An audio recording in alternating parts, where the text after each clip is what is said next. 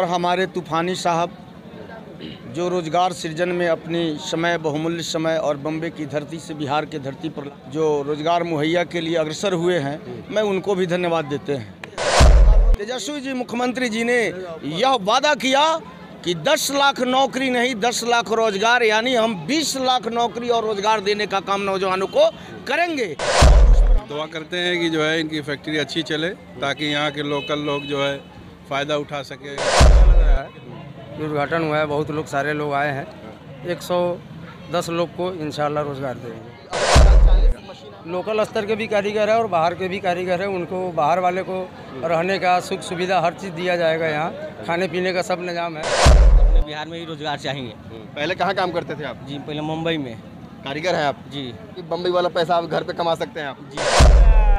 Maharashtra state के अंदर में जो परेशानियाँ हरानियाँ उतार, उतारते थे और उसकी जगह पर हमारी बिहार सरकार ने यहाँ लाई। यह बहुत अच्छा किया है जो हम लोग महाराष्ट्र में जाकर के 2000 किलोमीटर करते थे। इन्होंने वो सुविधा अपने गाँव में दिया। इससे इस धरती का इस गाँव का विकास होगा। इस प्रखंड का विकास होगा। इस जिला का विकास होगा। बिहार सरकार से केंद्र सरकार से, मोदी जी से हम यही आग्रह करना चाहेंगे कि जब हम लोग इस तरह का मेहनत कर रहे हैं तो हमसे तो ज़्यादा मेहनत करने की उनको ज़रूरत है।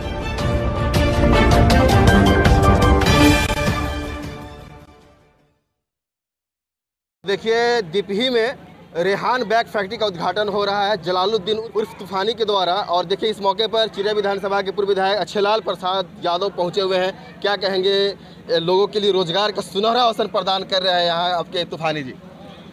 सबसे बड़ी चीज़ है कि आज इस उद्घाटन अवसर पर आपको पहुँचने के लिए आपके पूरी टीम को धन्यवाद देते हैं। और हमारे तूफानी साहब जो रोज़गार सृजन में अपनी समय, बहुमूल्य समय और बम्बे की धरती से बिहार की धरती पर लाकर रोज़गार का जो रोज़गार मुहैया के लिए अग्रसर हुए हैं, मैं उनको भी धन्यवाद देते हैं। पत्रकार बंधु, एक चीज़ मैं कह देना चाहता हूँ कि ये जो रोज़गार मुहैया की बात है, ये आज की सरकार की उत्तम सोच है।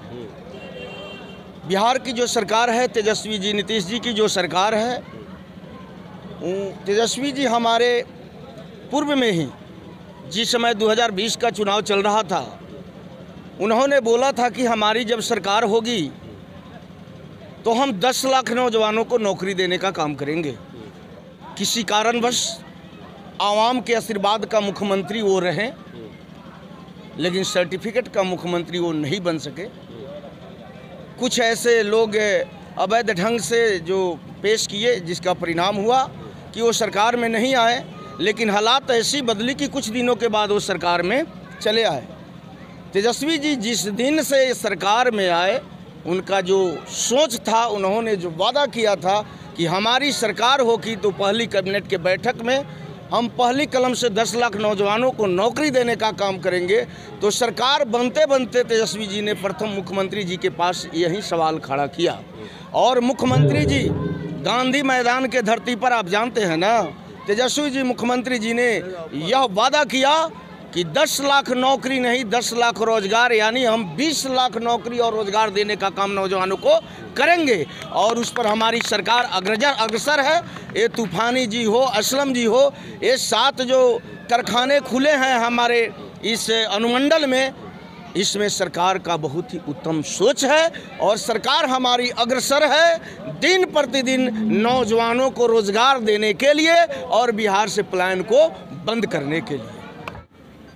तो देख सकते हैं, रिहान बैग फैक्ट्री के उद्घाटन के मौके पर, शुभारंभ के मौके पर मुफ्ती अहमदुल्ला साहब फुलपुरी यहाँ पर तशीफ़ फरमा है, दुआ के लिए यहाँ पर आए हैं। इनकी दुआ किया गया है रोज़गार की तरक्की के लिए, इसमें बरकत के लिए। मुफ्ती साहब इस उद्घाटन समारोह में आप आए हैं, क्या कुछ कहेंगे? क्योंकि लोगों को रोज़गार से जोड़ने के लिए ग्रामीण स्तर पर इन्होंने उद्घाटन किया अपने यहाँ। रहमद रसूल करीम। अब दुआ करते हैं कि जो है इनकी फैक्ट्री अच्छी चले, ताकि यहाँ के लोकल लोग जो है फ़ायदा उठा सके। गाँव देहात के लोग भी, जो गरीबी गरीबी है, गुर्बत है, वो सब चीज़ें दूर हो सके। दुआ करते हैं इनके लिए। तालीम से जोड़ने के लिए क्या कुछ तरह की मुहिम आपकी भी चल रही है?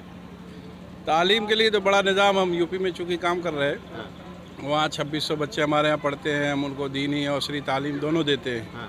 इसलिए और दोस्त अहबाब से घूम फिर के कहते रहते हैं भाई तालीम को आम करो।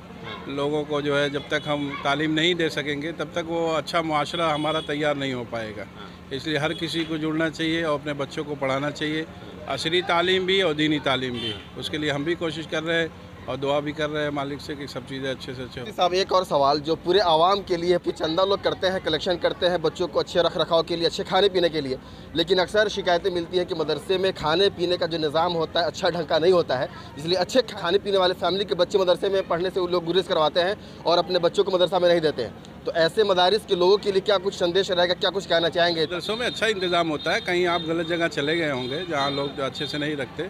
आप हमारे यहाँ आइए खाने पीने का इंतज़ाम रहने का इंतज़ाम उनकी तमाम तरह की सहूलतें गर्मी ठंडी का इंतज़ाम ऐसा नहीं मदरसे नहीं कह सकते आप चंद जगहों पर कह सकते हैं। और पहला जो सवाल आप था कि मालदार मालदारों को खुद उसका जो है निज़ाम बनाना चाहिए अपने बच्चों के लिए अपने घर वालों के लिए तरतीब बनानी चाहिए। वो गुरबा के लिए जो है चंदा होता है यतीमों के लिए चंदा होता है तो उनको खिलाया पिलाया जाता है है। डायरेक्टर है देख सकते हैं मोहम्मद जलालुद्दीन उर्फ़ तूफ़ान। लोगों को रोज़गार से जोड़ने के लिए इन्होंने अपना बैग का आज उद्घाटन किया है। आज अपनी कंपनी का उद्घाटन किया। क्या कहेंगे आज उद्घाटन हुआ आपके रेहान बैग का। काफ़ी लोग आए हैं शुभकामना दे रहे हैं आपको। हम्म, हमको भी बहुत अच्छा लग रहा है उद्घाटन हुआ है। बहुत लोग सारे लोग आए हैं और उलमा दीन से लेके नेते लोग भी हर प्रतिकार के लोग आए और बहुत अच्छा लगा। बहुत खुशी महसूस हुआ कि हम अब लोगों को रोज़गार देंगे। हाँ लगभग 110 लोग को इंशाल्लाह रोज़गार देंगे। अभी फ़िलहाल 40 मशीन आपने लगा हुआ है। आगे की क्या प्लानिंग रहेगी? आगे की प्लानिंग है कि 100 डेढ़ सौ मशीन चलाएँगे इंशाल्लाह। हाँ। अच्छा, कारीगर कहाँ के होंगे? यहाँ लोकल स्तर पर भी कारीगर है या बाहर के कारीगर को मौका मिलेगा? लोकल स्तर के भी कारीगर है और बाहर के भी कारीगर है। उनको बाहर वाले को रहने का सुख सुविधा हर चीज़ दिया जाएगा यहाँ। खाने पीने का सब निज़ाम है। और बाकी गाँव वाले जो है तो ग्रामीण वाले आएँगे और चले जाएँगे। एक- किसी एक कंपनी के लिए काम करेंगे अलग अलग कंपनी का मैन्युफैक्चरिंग करेंगे आप? नहीं नहीं अभी तो हमारा मिस्टर तुषार जैन है। हम लोग उन्हीं के लिए काम करते हैं। बाकी कोई दूसरा नहीं है। क्या कहेंगे आज उद्घाटन हुआ तूफ़ान जी का? बढ़िया है। अच्छा लगा। लोगों को रोज़गार मिलेगा। अब बम्बई दिल्ली कलकत्ता नहीं जाना पड़ेगा। नहीं जाना पड़ा क्या कहेंगे? तूफ़ान जी ने एक बेहतर कदम उठाया है लोगों को रोज़गार से जोड़ने के लिए। बहुत खुशी की बात है। हम्म, और ऐसा और कारखाना भी खुलना चाहिए। हम्म। गाँव एरिया में कि जो बाहर को जो जाने आने में परेशानी होता है जो वहाँ रहने में हम्म, उससे कम से कम छुटकारा मिले आदमी को अपने बिहार में ही रोज़गार चाहिए। पहले कहाँ काम करते थे आप? जी पहले मुंबई में। कारीगर हैं आप? जी। बम्बई वाला पैसा आप घर पे कमा सकते हैं आप? जी। क्या नाम है आपका? रियाज। आप क्या करते हैं? मैं मास्टर हूँ बैग का। अच्छा बैग मास्टर है कटिंग करते हैं। क्या लग रहा है अब आपको इस कटिंग करने के लिए बाहर नहीं जाना पड़ेगा? तूफ़ान जी ने ये मौका आपके घर में ला दिया है। ये तूफ़ान साहब का बहुत बड़ा एहसान है। हाँ। और लोगों से भी ये कहेंगे कि इनका समर्थन करें हाँ। और इनका सपोर्ट करें हाँ। और दुआ भी करें इस कंपनी के लिए कि और डेवलपमेंट हो गाँव भी डेवलप हो समाज भी डेवलप हो और इनका बहुत बड़ी कुर्बानी है इस कंपनी को यहाँ तक ले लाने का। तूफ़ान साहब के अबू हैं मोहम्मद उमैर साहब। काफ़ी मेहमानों का स्वागत कर रहे हैं खैर मकदम कर रहे हैं। देखिए यहाँ पर खड़े हैं डटे हुए हैं। आज आपके लड़के का उद्घाटन हुआ बैग कंपनी का क्या कुछ कहेंगे? मैं कुछ ये कहना चाहता हूँ कि ये गरीब गुरबे सब महाराष्ट्र स्टेट के अंदर में जो परेशानियाँ हरानियाँ उतार, उतारते थे और उसकी जगह पर हमारी बिहार सरकार ने यहाँ लाई और कंपनी पर लाख लाख शुक्रिया और धन्यवाद देता हूँ इस लड़के को मैंने आशीर्वाद देता हूँ। यहाँ के गरीबे गुरबों अपनी ज़िंदगी बसर बाइतमीनान के साथ अपनी ज़िंदगी गुजार लें। क्या नाम है आपका? मोहम्मद वासिफ रजा। रजा साहब, ये बताइए, तूफ़ान जी ने उद्घाटन किया क्या लग रहा है आपको? इन्होंने किया है, बहुत अच्छा किया है, जो हम लोग महाराष्ट्र में जाकर के 2000 किलोमीटर करते थे, इन्होंने वो सुविधा अपने गाँव में दिया है। ये बहुत बड़ी बात है, बहुत खुशी की बात है। अब हम लोग को 2000 किलोमीटर नहीं जाना पड़ेगा, वो काम हम लोग गाँव में ही करेंगे। बस अब सरकार से यही अपील है कि हम लोग को लाइट का ये कर दिया जाए, कि लाइट का ही प्रॉब्लम है, बस और दूसरा कुछ नहीं है। बस। इस उद्घाटन के मौके पर कुछ और लोग हैं बात करेंगे। क्या नाम है आपका? मोहम्मद अमानुल्ला अमानुल्ला साहब तूफानी जी के लिए क्या कहेंगे? घर पे ही रह करके लोगों के लिए रोज़गार मुहैया करवा रहे हैं। ये तूफानी जी तो कर ही रहे हैं। इससे इस धरती का इस गाँव का विकास होगा। इस प्रखंड का विकास होगा। इस जिला का विकास होगा। इस देश का विकास होगा। जिस देश का इंडस्ट्री आगे होता है वो देश डेवलपमेंट होता है। एज फॉर चाइना उसके यहाँ इंडस्ट्री घर घर है नीतीश जी का और तेजस्वी जी का ये धारणा है कि हम भी उसी के नकल करके हम भी देश को आगे की तरफ़ विश्व में नाम करें। कितना मशीन लगाया गया है यहाँ पर फोर्टी। क्या नाम है? जी मेरा नाम अकील अहमद है। आज उद्घाटन में आप आए हैं तूफानी जी के क्या कहेंगे? बहुत अच्छा लग रहा है खुशी की बात है मगर जिस तरह तूफानी जी ने किया है तो हम सरकार से बिहार सरकार से केंद्र सरकार से मोदी जी से हम यही आग्रह करना चाहेंगे कि जब हम लोग इस तरह का मेहनत कर रहे हैं तो हमसे तो ज़्यादा मेहनत करने की उनको ज़रूरत है। वो हमको आगे बढ़ाएँगे तब ना हम लोग आगे बढ़ेंगे।